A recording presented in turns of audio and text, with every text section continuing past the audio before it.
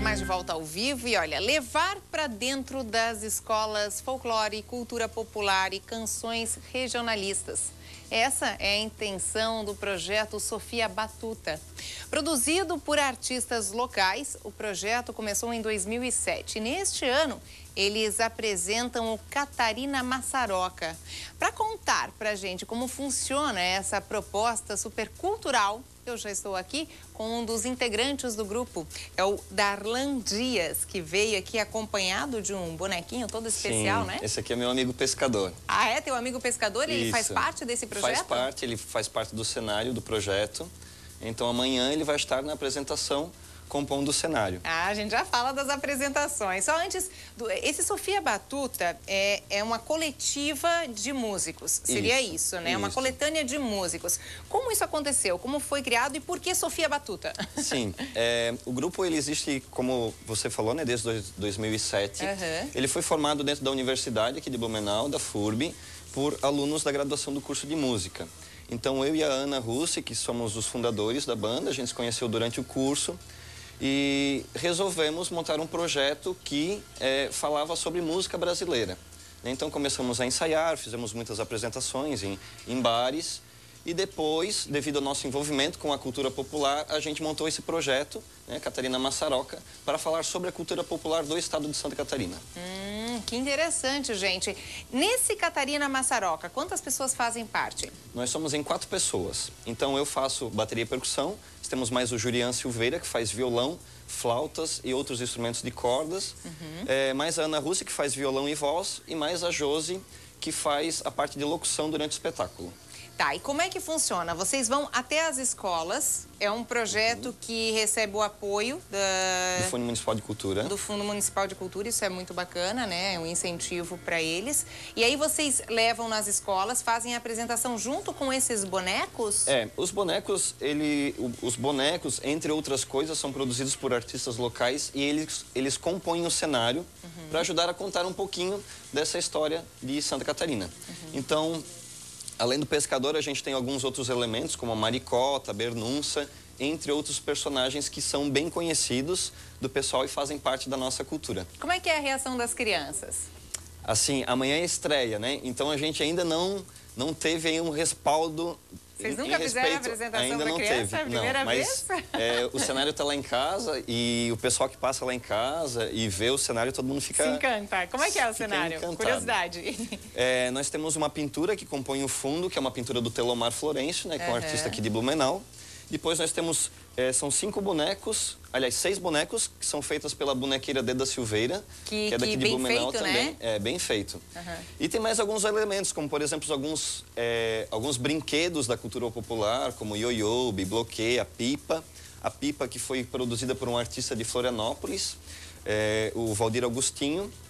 E alguns outros objetos que são bem conhecidos da nossa, cu- É da para nossa cultura entreter de verdade as crianças, levando cultura e o, e o folclore também aqui da nossa região. Isso é muito interessante, porque é uma forma para que as crianças entendam um pouquinho mais disso e já cresçam com essa cultura, né? Já se desenvolvam sabendo um pouquinho melhor o que, que é a cultura, o que, que é o folclore. Inclu- inclusive, a gente tem fotos aí, mas essas fotos não são do projeto, né? De que deixe claro isso aí, pessoal de casa. Na verdade, são do, do Sofia Batuta, não é o, o projeto Catarina Massaroca, e sim vocês tocando em outros lugares. É isso, né, Darlan? Na verdade, esse tem algumas fotos que a gente fez em estúdio e essas fotos que passa a gente tocando aí é do ensaio. Ah, o ensaio pro, é do ensaio geral para o espetáculo. É. Aham. Ali dá pra gente ver um pouquinho do, do- Quanto tempo vocês ficaram ensaiando? A gente tá. O projeto, na verdade, ele nasceu já há um ano e meio atrás. A gente vem juntando material, Nossa. compondo o repertório. Então amanhã vai ser o grande dia. Amanhã é o grande dia. Ah. A expectativa está bem grande. Pois é, como é que vai ser esse show então amanhã? Como é que vai? É um espetáculo, a gente É um pode espetáculo dizer assim, musical, né? a gente- É um espetáculo musical levando Isso. cultura e folclore para as crianças. É gratuito. É gratuito. Ele Quer dizer, acontecerá... pais, mães que estão aí nos assistindo podem levar seus filhos, né? É, a ideia é que as pessoas é, visitem realmente a escola. Né? A ideia de levar o projeto para as escolas é que a comunidade possa realmente participar das atividades escolares e ainda mais né, agregando aí um pouquinho de, de conhecimento sobre a cultura do nosso estado.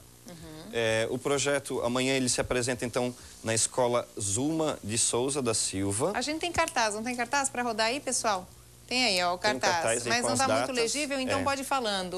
Então, amanhã, dia 31, a gente se apresenta na escola Zuma Souza da Silva, uhum. às 8 horas, com entrada franca. 8 horas da noite? Às 18 horas. 6 horas 6 da horas. tarde. 6 horas da tarde, entrada gratuita. Escola?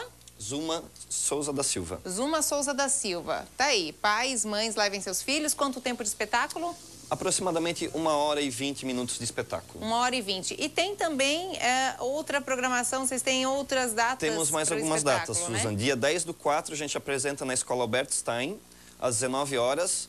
No Albert Stein é, vai existir uma cobrança de ingresso de R$ reais. Tá. E dia 12 do 4, que é uma quinta-feira, na Escola Almirante Tamandaré, às 19h30, ingresso gratuito também. Tem algum site, algum contato para que as pessoas eh, que tiverem dúvidas, queiram saber mais informações, enfim? Podem acessar nosso perfil no Facebook é, ou se precisarem um contato né, com alguém do grupo, podem é, nos contatar pelos telefones 9992-8898 ou 9912-3686. Parabéns, viu? Parabéns. Obrigado, muito bacana aí essa iniciativa de vocês. Cultura, né? Cultura é muito bacana. Tem mais um recadinho que eu quero passar para você aí de casa, que a gente não falou ali na agenda, mas que eu deixo aí a, o recado para você agora. É a festa de lançamento da Rádio 080, que acontece amanhã também, a partir das 11 horas da noite no Ovos Bar. Hum, tem participação do DJ Nico Wolf. Festão, hein? Bacana aí para todo mundo aproveitar e conferir.